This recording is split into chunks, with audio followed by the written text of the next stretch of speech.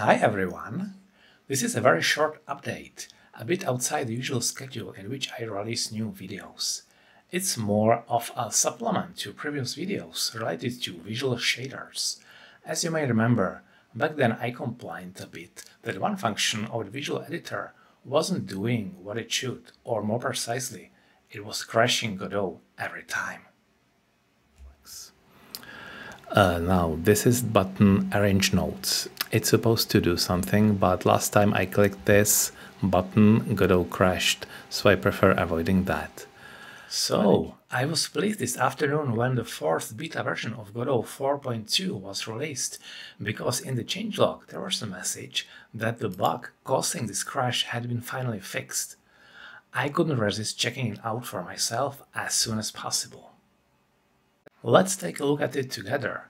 We'll open the freshly downloaded Godot 4.2 Beta 4, uh, into which I already imported a project where I've created my most complex visual shader graph so far. Yes, it is, uh, wait a minute, need to upgrade something, okay. Yes, it's the waving flag on which I demonstrated the vertex manipulations.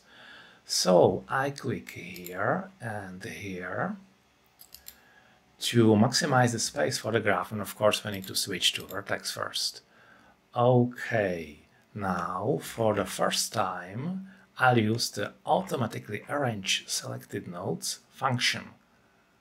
Let's do it now. Great! Nothing collapsed or crashed and the graph looks nicely organized.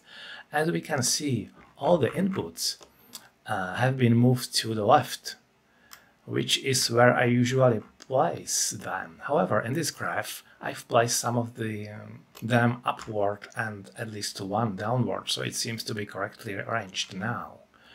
Following are the individual functions which, it seems, follow the correct order. The first row modifies the x-coordinate of the vertex, the second row the y-coordinate.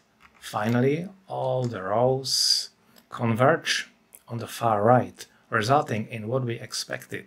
The vertex has been transformed and the flag is waving nicely. I hope this news has pleased you as much as it did me. And if you don't like working with beta versions, you can simply wait for the final release of Godot 4.2, in which this bug will be included. Ah, this bug fix, of course. I wish you a wonderful day and lots of success in creating shaders.